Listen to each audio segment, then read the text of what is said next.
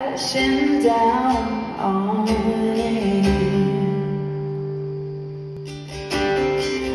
Take time to realize that I am on your side. Didn't I, didn't I tell you?